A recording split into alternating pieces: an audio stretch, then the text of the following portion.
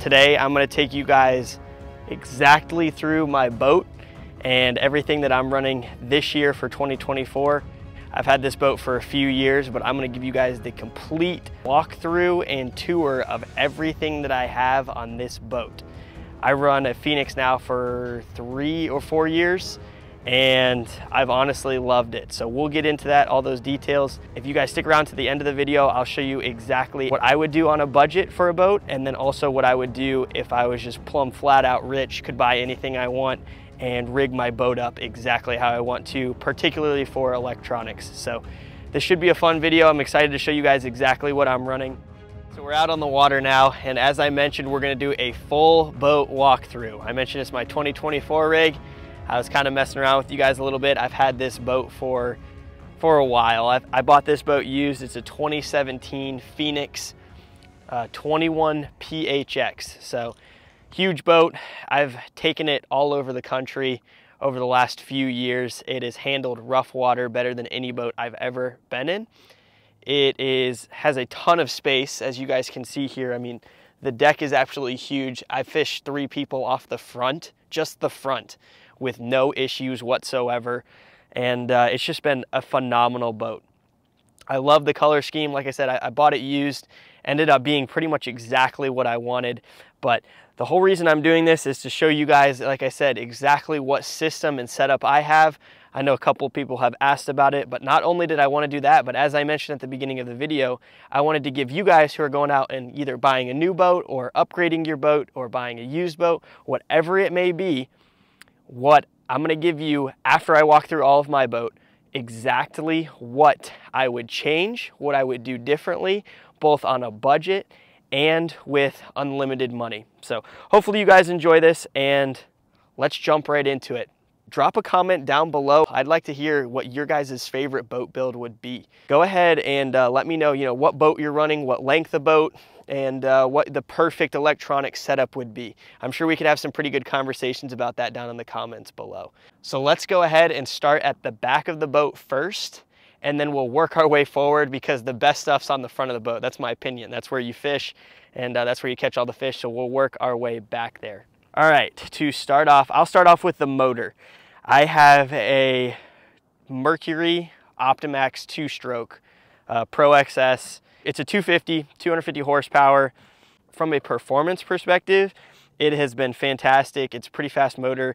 Again, this is a 21 and a half foot boat. It's Phoenix's, well, I think biggest boat, unless the XE is about the same size, their new XE. But it has been a great motor. I mean, again, it pushes this thing the fastest I've ever been with a quarter tank of gas and with a little bit of tackle, nothing like a full tournament load or anything. I've been 74 in this boat. So it pushes this big boat pretty fast. I would say with two guys, full tournament gear and everything, you're hitting upper 60s, which again, for this size of boat with that motor is fantastic. I mean, the new four strokes are probably not gonna push it that fast. Like I said, I've beat people down the lake in just little local uh, club tournaments and stuff, especially in rough water. Like I said, in rough water, this boat will beat just about any boat out there. But that's what I have here is this Mercury Pro XS. It's on a manual jack plate. I think it's, it's either a 12 or a 14 inch. I don't know exactly how big that jack plate is, but I've never ever adjusted it if I'm being honest with you guys. I checked the adjustment when uh, when I first bought the boat and I think you want it like the uh, the center of the prop or basically the prop shaft about two and a quarter inches from what I looked at about uh, two and a quarter inches below that hole. So correct me if I'm wrong on that, guys, because you guys may know more way on that. But if I remember correctly, it's in between. It was right around that two to three inch mark, somewhere in there. I know it's it's very minor, so that's kind of a rough estimate.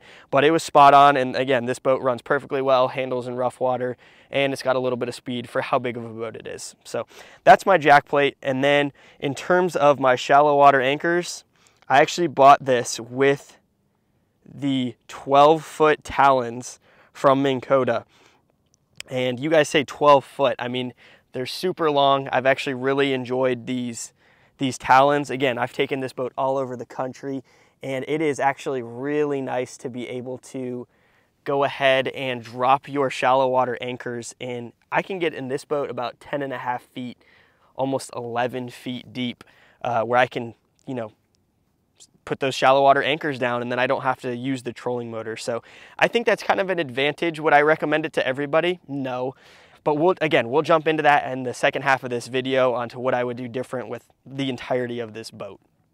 So 12 foot talons there, they've been solid. I've had zero issues with them actually whatsoever, aside from uh, Lake Fork about breaking them off on the bottom with four foot waves when I'm trying to swim bait fish, but that's just the bolts. But again, these things have held. I mean, they held in that four foot waves. No, like it's it's crazy. I mean, they flexed and banded, but they held well. So again, super, super long depth or super deep depth that they can reach, but ultimately I've enjoyed it. I mean, they're super long. And again, if you guys can see here, let me level it above the motor. It's not that much higher than the motor. So I know with, with either, you know, Raptors or uh, power poles, you uh, when you get the 10 footers they stick up really high guys these are 12 foot talons and they don't stick that high above the motor i mean it's maybe a foot so you get super long range and you know, with or super good depth range without all that space above the boat. So that's that at the back. I am not gonna go into all the compartments, guys. I mean, maybe my battery rigging, I'll just tell you about it real quick. I've got three batteries for the trolling motor and I've got uh, three 12 volt batteries for the trolling motor and I've got one 12 volt battery for cranking and then my two graphs, which again, stay tuned here because I'm going to tell you guys what I would do different if I were buying a boat or buying a new boat or upgrading my boat. So that's, that's my battery setup. But again, I'm not gonna go into all the compartments. I mean, you got two live wells and I'm not gonna open them up, but storage, storage, tools, all that stuff. Uh, middle compartment, a bunch of tackle. Right compartment, I normally do a bunch of clothes, uh, hats, anything out on the water that you would need extra rain, rain gear. I got my day box, scales, bluers, all that stuff cooler in the center, extra lock, rod locker for your for your uh, partner, and then the main rod locker, got a bunch of rods in there. That's pretty standard, nothing crazy there.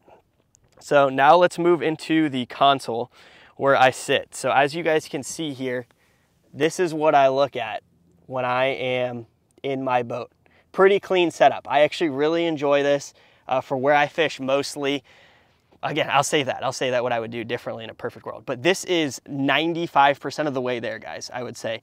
I normally, and when I'm back here, I normally use this for mapping and it's been great. I mean, that's really all I use it for. I'll use it for side scan when I go to new lakes. I'll just, uh, it's a 12 inch screen. It's a 12 inch Lowrance HDS Live. And when I go ahead and split the screen, is it the biggest? No, but you can absolutely get, you know, some mapping, some sonar, and then if you put the side scan horizontally if you lay that out how you lay it out on your uh, Lowrance units and just make it a thin little sliver right there on the bottom. That's what I do. So I normally go mapping, down scan, side, uh, I'm sorry, mapping, 2D, down scan, and then uh, just a sliver on the bottom. I use side scan and uh, that's how I lay that out. But I've had zero issues with that. It's clean, it's easy. And uh, I've got these on Bass Boat Technology mounts. Zero issues with these mounts, guys. I mean, they are solid. I mean, it is unbelievable. I have taken this boat, again, I've been all over the country in this, been up north, out west, super big waves. I mean, ridiculously big waves where you have to tighten literally every screw and every boat. I'm sorry, every screw and every bolt in the boat when you get off the water. Like I said, that's another story I could tell you. I got lots of stories about stuff almost falling off the boat, but those mounts, those two mounts there, have absolutely been solid. So that's what I have at the console, just one 12 inch HDS uh, live.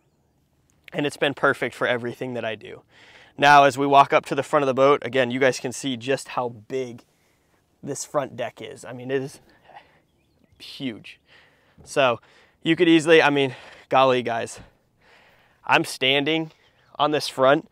You could literally stand at the front of this boat I don't know how you guys are gonna be able to see this, but you can stand at the front of the boat, no problem whatsoever, and probably fish two people wide up here. So that's one thing I love about this boat is you can take, like I said, I've had three people fishing off the front deck alone. So you could fish four people out of this boat, uh, no problems whatsoever. But this is the front. I ended up going with, I'll go into the electronics here. I've got another HDS 12 uh, live from Lowrance up front here.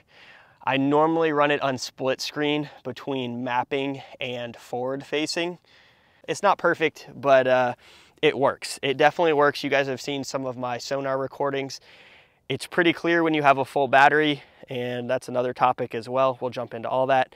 But that's my setup up here is one 12 inch screen and it works. Guys, we don't need to make this super complicated. From a fishing perspective, again, it's just fishing. So I know a lot of people are complaining out there about, you know, all this technology and all this other stuff. I'm a big tech guy. I love, I love technology.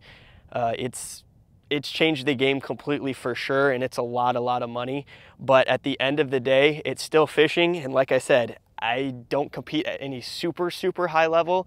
But if I did, I would definitely upgrade some things. But at the end of the day, I am doing just fine and catching a ton of fish by just having, again, one 12 inch unit up front. And uh, that's that. So now let's jump into my trolling motor. So this is my trolling motor, Lowrance Ghost. It's the 47 inch. I actually bought this used when I bought the boat and it has been rock solid. It is a little noisy. It's been through the ringer for sure. But at the time that I bought this boat and I went to upgrade my trolling motor, I went to the Bassmaster Classic out in, it was Fort Worth, when it was in Fort Worth on uh, Lake Ray Roberts. And what I ended up doing is I went in with an open mind and I said, you know what, I, I don't care what brand it is, but I'm gonna pick the best trolling motor on the market. And now today, again, there's a bunch of different options out there today, but at that time there was just the power pole, I'm sorry, not the power pole, the Minn Kota Ultrex, the Lowrance Ghost, and then the, what was the other one that I looked at? The Garmin Force, and then the, oh man, MotorGuide. Those were kind of the big four, at least that were demoed there at the Bassmaster Classic. And guys, for just who I am, this is what worked for me. But at the end of the day, I settled on this Lowrance Ghost. At the time, it just had the most power. It was super, super efficient. And I can see that with my batteries. It's unbelievable. I can go a full day of fishing on my batteries and it still shows full, which is just stupid.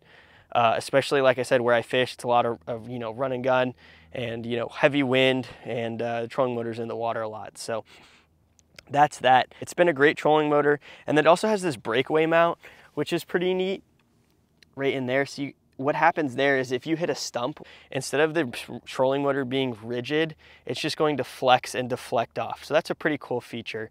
And then like I said, between the efficiency and then the thrust that the, the total output of the motor and then that feature right there combined with this foot pedal, I'm a very linear guy and I like things orderly and you know just linear and mirrored and whatever you may, may say about that. But I really liked how this foot pedal is square or rectangular and I just like how it fits in the boat and it looked really appealing to my eye. So at that time, that's what I thought was the best and that's what I went with. And uh, as you guys can see, pretty cool setup there. Now, as I promised, I am going to, let's do a reverse and let's go back to the back of the boat and I'm going to walk you guys through from a you know motor and electronics perspective you just what I would do differently based on a budget and then based on if I had unlimited money in the world. So that's kind of what I'm gonna do now. Uh, let's walk back here. In terms of the actual boat hull itself, I'm going to just say, I'm going to assume that you can pick out whatever boat hull or whatever size boat you can afford. Again, an 18 or 19 foot boat is gonna be completely fine for fishing, but at the end of the day, you know, it might not be able to go as well in rough water. It may not be able to fit as many people, as much tackle, etc. So you guys got to make your decision on the boat hull itself. I've got a few buddies looking at, you know, multiple different options. I'm not going to steer you on that. All I can say is I've ran this Phoenix for years in just about every type of water out there. I'm sorry, not type, it's only been in freshwater, but about as, you know, rough of water and as calm of water, wind, you know, all that stuff. And it has held up perfectly. I mean, the hull is fantastic. I've had zero issues. If there has been any issues with Phoenix, whether it be, you know, let's say it's a little, you know, a fitting, they had a little bit of an issue with uh, live well fittings cracking. Guys, called them up. They sent me a new one within like a couple days, completely free. I mean, hands down, phenomenal customer service. So I can't say enough good things about them. Um, but anyway, you guys choose your boat. So let's go to the back here and I'm going to first start off by what I would do differently back here. So if I, let's start with the motor. If I were on a budget, I would, on, I would honestly a, get either a Yamaha or a Mercury. I think the two strokes are good. No, they're a little bit temperamental. You can have some issues with them for sure, but they're minor issues and overall their performance is great. Yamahas, the older Yamahas, great motor as well. A uh, little bit of issues here and there I've heard, but uh, they're, again, a solid motor. Those would be kind of the two motors that I would steer towards if I were, again, on a budget and buying used. I'm gonna say an older motor. I'm gonna say this is not new. Let's say it's a prior generation of motor for this budget build. Um, I think I don't think you go wrong with Yamaha or Mercury. That's kind of what I would stick with. I know that's pretty generic. Everyone kind of knows that, but that's about it. In terms of the shallow water anchors, if I were on a budget and uh, I would evaluate the type of fishing that you normally do. So for me, I'm a big offshore fisherman. If I were on a budget, guys, I honestly, and they didn't come with this boat, I probably wouldn't have them. I mean, they're nowadays, I think they're 3,500 bucks a piece new. Um, it'd be better if you bought them used. You guys can get some good deals if you were to get them used. But that's, I would say that for me, if you're an offshore fisherman or you're fishing a deeper highland reservoir, uh, some of these clear lakes in North Georgia, or honestly just anywhere where it's deeper than 10 feet, you don't need them. You absolutely don't need them. I, I really only use mine, like I said, at particular times of the year, particularly during the spawn, like March, April, May. And then other than that, it's literally just for unloading and loading by myself. So I can park them in the ground and go drive my truck up to you know the parking spot. So you absolutely don't need them. But for you guys, if, if you're a shallow water fisherman, then uh, I would say buy used ones. I mean, there's lots of older generations out there. Power pole is solid. That's probably where I'd lean to since they are the original. And uh, they've gone through a few iterations at this point, but try to get some of those power poles. That's what I would do. And in terms of a jack plate, you definitely don't need a hydraulic jack plate. So on a budget, stick with the manual. Like I said, mine's completely fine. Uh, might lose a little bit of performance at the end of the day, but it is what it is. So now, if I had unlimited money in the world and I'm building a new boat today, I'll throw up a list of uh, some of my things that I've been writing down just kind of for my dream boat. But this is exactly how I would build it. I would, I'm not, I don't want to knock anybody, but I would 100% get a Yamaha. Just from the new Yamahas and the new Mercs, I believe that there are a lot less issues with the new Yamahas. And I would put that on a hydraulic jack plate probably an Atlas. I've heard better things about the Atlas than the Bobs. Again, I don't, I'm not trying to throw anyone under the bus here. That's just what I've heard from buddies and from people, you know, in the industry and just talking around. In terms of shallow water anchors, I would get 10 foot Raptors. That's where I would lean. That adaptive anchoring feature on the new Raptors is pretty stinking cool. So that's gonna give you about, you're gonna be able to, you know, shallow water anchor touchdown in about, I would say eight to, you know, eight to nine feet for sure. Um, and for me, that's plenty, especially for shallow water fishing. Uh, you're not gonna see much more, even on these clear lakes, more than, you know, eight, nine feet down. So that's plenty of depth for me. That's what I would do. That adaptive anchor featuring would just be that much more.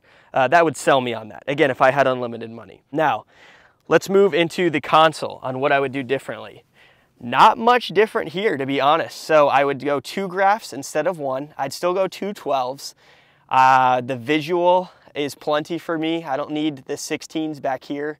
I wouldn't think. Yeah, let's, let's I guess if uh, with unlimited money, let's start with that and then we'll go to the budget. But I would still have a Lowrance HDS Live. I don't think the difference between the new Pros is that much different the performance metrics, if you look at them, guys, is not worth the money in my opinion. And there's some pretty good sales right now going on uh, for these units. So you can get them, I think, for less than $2,000.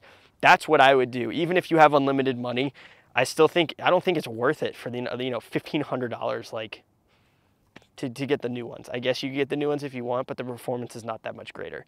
And then what I would do next to that, I would use that Lowrance for mapping particularly. And then next to it, I would have a 12 inch Humminbird Apex. That's what I would do. And I would use that for mapping as well. And I would switch that to side scan once I started graphing around. Uh, maybe put some mapping in there as well. But I would have a Lowrance HDS Live and a 12 inch Lowrance Apex. And again, that would just be for side scan and mapping, just to have two different unit options on here uh, to cross-reference. And, you know, I think particular brands do certain things very well. And I think Humminbird is really good at the side scan and mapping, especially on a lake like Lake Lanier. It's, it's their home lake. So uh, they do, they have very good maps on this lake particularly. And then Lowrance, I love their user interface and how easy it is to save a waypoint. I know Humminbird has made some changes to that, so uh, hopefully that gets a little bit better there, but I would still run one of each. Now for the budget option here, guys, what I would do is kind of how I have almost mine set up, but get a nine inch screen. Like you don't need a 12. Like I said, don't make it more complicated than it needs to be. Again, this is on a budget, so not what I would do in a dream world or what would be ideal, but if you're on a budget, just get the nine inch screen. I mean, it's gonna be, get it for mapping. Um, that's really what you need it for. Maybe some side scan if you're gonna do some graphing around. But if you're just gonna go fishing, get a nine inch screen for, for mapping and then do your fishing at the front of the boat. That's where I would leave it at that. Um, you could compete. You're, you're not gonna be at, you know, you're not gonna have all the tools to be competitive for sure. But again, on a budget, just get a nine inch. I would get a nine inch Lowrance. That's what I would do. That's my opinion. Now let's move to the front of the boat here. Let's start with a budget up here. If I were on a budget, I would start and again, up here, I would probably get a nine inch screen. Uh, nine inch Lowrance would probably be my go-to just so the units pair together. I think that's really nice for like waypoint management and stuff is if you can link the two units together, then uh, you don't have to, you know, save multiple waypoints on each unit. But that's what I would do. And then honestly, I mean, you really don't need anything more than that. Maybe a simple 2D transducer on the bottom. Again, this is just going basic budget fishing, you know? Uh, that's what I'm giving you guys. And then in terms of the trolling motor, I would go with the Minn Kota Fortrex. That's what I had before this, this uh, Ghost. And guys, it was perfect. I never ever had an issue with it. It was a fantastic trolling motor, never had any problems whatsoever they're relatively cheap. I mean, for trolling motors, they're relatively cheap and you're gonna get such good quality.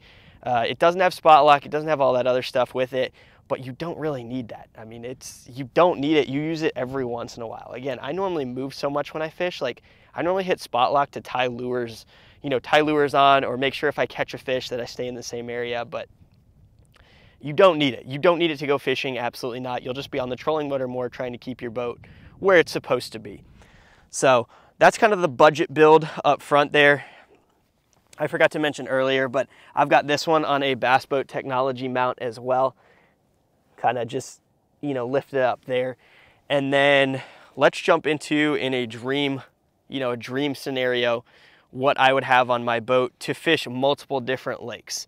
Uh, again, I like to tournament fish. You guys know that. I'm not anything crazy big, but this would be my dream boat for many different lakes because each lake has particular things that are required. Like on Lanier, you definitely need forward facing sonar and maybe not so much Humminbird 360. So my opinion there, but that's what it is. So let's jump into it up here. From what I've seen today, I was just talking to a guy the other day from the Opens and he had the NBT Marine uh, large units, you know, the, the um, monitors, the monitors that are massive. I think they make a 16 inch and a 22 inch, if I'm not mistaken. It is giant. Honestly, guys, I personally probably would not put that on my boat. Uh, that's a hot take for sure, and definitely could be a little bit, you know, controversial for sure. That's big. I mean, that's just freakishly big. I, that's unbelievable. And I just don't even, even with unlimited money, I don't know if I would personally need that big of a screen. I mean, that's a stinking TV. I mean, the 16 inch screens are big. So that's my two cents on that, but let me run you through it real quick. I would go, I would have three graphs up front. And uh, I know that's excessive, it's a lot, but I would have one Lowrance, I would have a 12 inch Lowrance HDS Live, again, linked to my other Lowrance for waypoint management. I would then have a Humminbird unit, a 12 inch probably Apex again. Uh, maybe one less than that. I don't know. It depends. But just for Humminbird 360, just for those specific lakes, like when you go to those shallower largemouth lakes with a lot of stumps, particularly like out in Texas, stuff like that, that Humminbird 360 is solid. I mean, that's really cool technology. And then on top of it, I would have, again, those two graphs, two 12 inches on the bottom, a Lowrance and, and a Humminbird. I would then stack on top of it a 16 inch Garmin 8 series, strictly for forward facing sonar. Right now, hands down, Garmin has the best picture and the best sonar in the game. It's not even close. I mean, it, it's not even close. Like, you can see a minnow at like 100 feet with the new, you know, the new LV, I think it's LV34 uh, LiveScope system from Garmin. So that's exactly how I would build it with unlimited money. It would all be, you know, on, on obviously either Bass Pro Technologies or, or, one of those other aluminum mounts. You want a pretty solid mount, especially with all that weight up there and you guys hitting waves.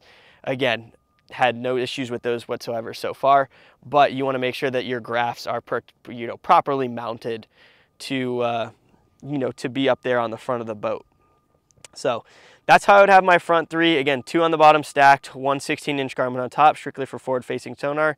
That obviously means I would get the new Garmin forward facing sonar system. Uh, that's my opinion. And then in terms of trolling motor, I would go with the new Ultrex Quest.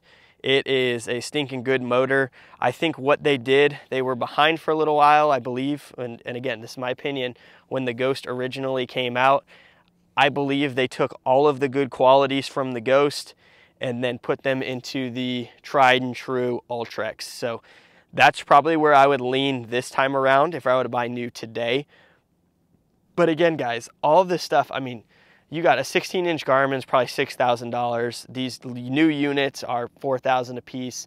A new trolling motor is $4,000. So you're talking 25, you know, potentially upwards of $25,000 on electronics to rig out a boat you know, I'll say with unlimited budget. So one thing I also forgot to mention here with my Lowrance Ghost, uh, this is just a little tip for you guys, but you guys can see here, I got a troll tame lock.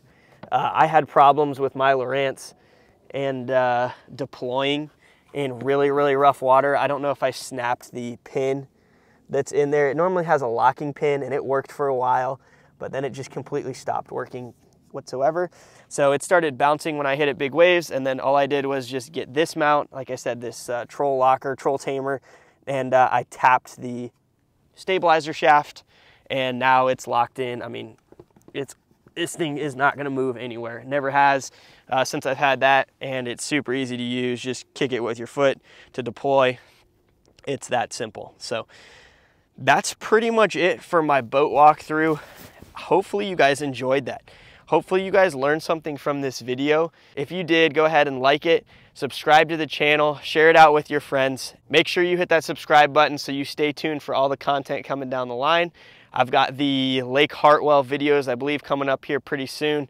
You're not gonna wanna miss those. We're gonna do, again, practice, tournament, and then a 2020 video as well. So I've got all that stuff coming.